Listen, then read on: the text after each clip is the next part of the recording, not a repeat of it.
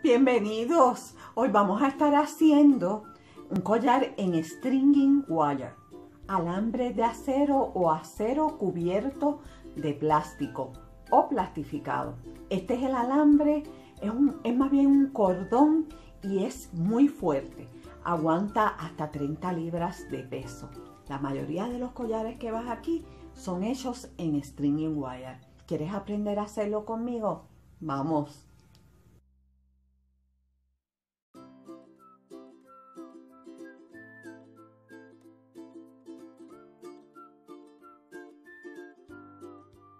Comencemos. Vamos a estar haciendo el collar en stringing wire o alambre cubierto de nylon.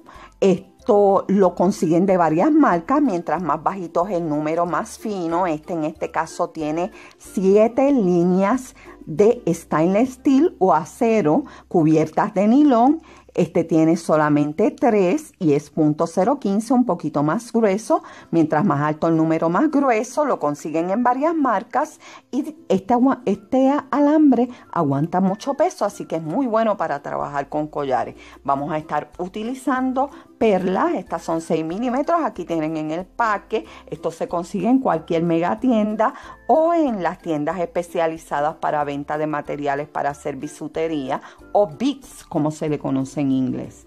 Tengo por aquí un dije que ya tiene puesto su terminal, pero pueden comprarlo aparte. Yo ya enseñé en un, en un programa anterior cómo ponerlo. Simplemente abrir la argolla y sujetarlo al terminal. Tenemos por aquí biconos de 6 milímetros, de 8 milímetros, agatas de 12 milímetros.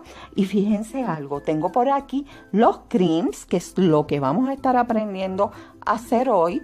Son estas piezas muy pequeñitas, estas son 4 milímetros y tengo los cobertores para los creams, una cerradura, dos argullas de 6 milímetros, tengo separadores y tengo bolitas plateadas de 4 milímetros. Y miren lo que vamos a estar haciendo. Yo ya corté mi hilo. Tengo un pedazo de hilo de 20 pulgadas aquí. Aunque el collar va a ser más pequeño, tengo que cortar adicional por lo menos 2 a 3 pulgadas a cada lado para que se nos haga más fácil terminarlo. Ustedes pueden comenzar. Fíjense que yo tengo presentado aquí más o menos el patrón que yo voy a estar haciendo en mi collar. Eh, yo no utilizo tablas de joyería, ustedes pueden utilizarlas. Yo lo que hago es que presento el trabajo en la toalla y utilizo toallas para que las piedras no se corran en ella y sea más fácil, se me facilite el trabajo. Lo primero que voy a hacer es que voy a colocar mi dije. Ustedes pueden comenzar desde la esquina. Eh, ustedes deciden en dónde ustedes comienzan su collar. Voy a colocar el dije, ya lo tengo aquí puesto, y voy a comenzar con las perlas voy a pasar patrones de tres perlas. Vamos a dejar este a este lado. Tengo como siempre aquí mis herramientas, la herramienta redonda. Esta herramienta es bien importante, es la herramienta para cerrar los crimps y es la técnica que vamos a estar aprendiendo hoy. Tengo el cortador y las pinzas planas. Y tengo siempre por aquí un bit trimmer o una lima por si alguna de las piedritas, el hueco está tapado, poder, poder abrirlo con facilidad. Voy a estar entrando tres de las perlas, ese va a ser mi patrón, seguido por una bolita de metal plateada, lo tengo por aquí, y Aquí voy a cambiar el patrón y voy a comenzar con los bíconos. Esto es un bícono de 4 milímetros. Voy a pasar un, separador. Voy a poner una agata, agata de 14 milímetros. Voy a pasar por aquí separadores. Vamos a ponerlos más cerca. Y nuevamente el bícono pequeño la bolita plateada y voy a poner por aquí nuevamente tres perlas.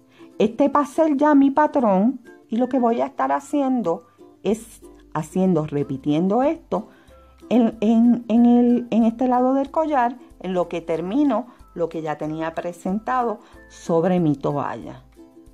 ¿Verdad? Pasamos tres perlas aquí y voy a continuar con los patrones que tengo aquí.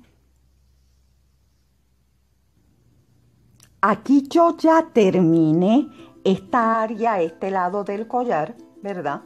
Eh, para ahorrar un poco de tiempo. Fíjense que es el mismo patrón que tengo aquí, simplemente le puse perlas entre medio de cada patrón. Y aquí es lo que yo quiero que aprendan hoy, es la técnica de los crimps o grapas de joyería. Esta es la bolita plateada normal. El crimp es el bien pequeñito que le mostré ahorita, lo tengo por aquí. Vamos a ver porque se hace un poquito difícil trabajar con él por el tamaño. Lo pasamos por aquí. Voy a buscar entonces una de mis argollas.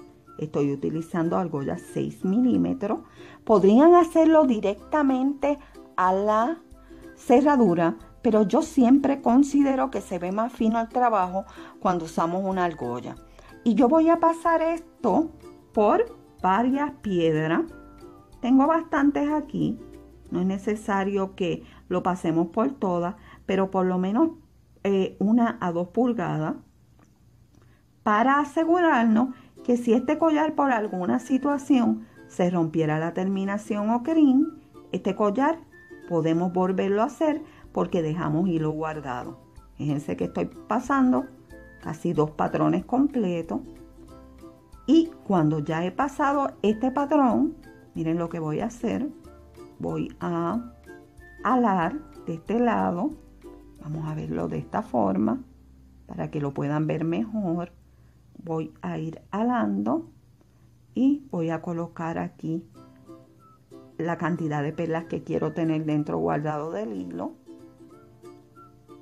Yo creo que ya esto es suficiente. le vamos a dejarlo aquí. Y miren lo que voy a hacer voy a ajustar, ajustar. Fíjense que el alambre va ajustando en la argolla. No debe estar completamente ajustado, que eso quede plano, ¿verdad? Que quede muy eh, trinco, sería la palabra. Ya aquí lo tengo. Puedo, como no he cerrado el otro lado, puedo hacer esto y miren lo que quiero enseñarle hoy. Con la pinza de cerrar grapas o la cream pliers, pinza de cerrar grapa. Esto tiene como una boquita. Yo a mis estudiantes siempre decía que era una sonrisa. Y vamos a ir a este primer, a esta primera boquita en sonrisa y vamos a aguantar la grapa, meterla en esa primera boquita. Vamos a ver si por aquí lo pueden ver. Y aquí vamos a apretar.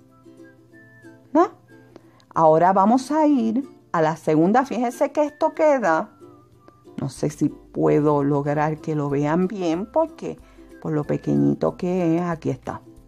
Lo ven que queda como dobladito, como en el centro del crin. Ahora vamos a ir a la primera parte de la pinza y vamos a cerrar nuevamente el crin y esto lo que hace es que la grapa quede selle esa, esa terminación.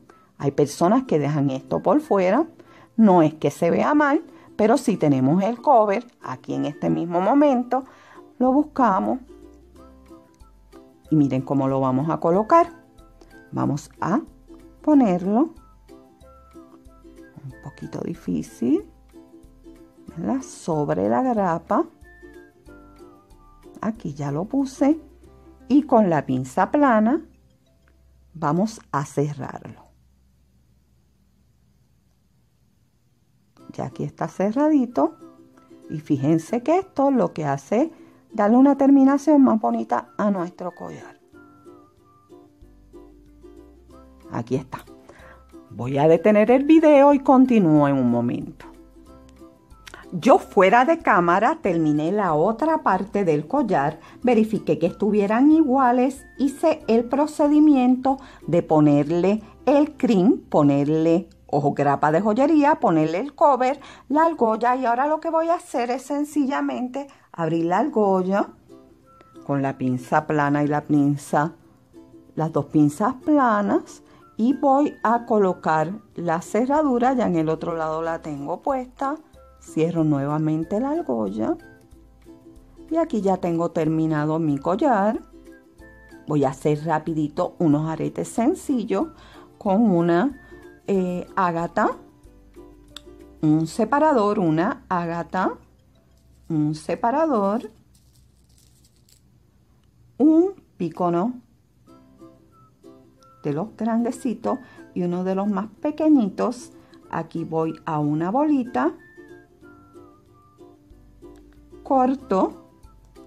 Recuerden esto, esto estaba en el video de cómo hacer collares de alambre, más o menos a media pulgada. Y con la pinza redonda, hacia atrás, hacia el frente y lo pongo directamente al ganchito. Aquí cerré y ya tenemos terminado nuestro collar y nuestro arete. Después yo le hago fuera de cámara el otro y le agradezco el que estén aquí conmigo. Eh, les recuerdo que voy a estar subiendo videos los martes y los jueves.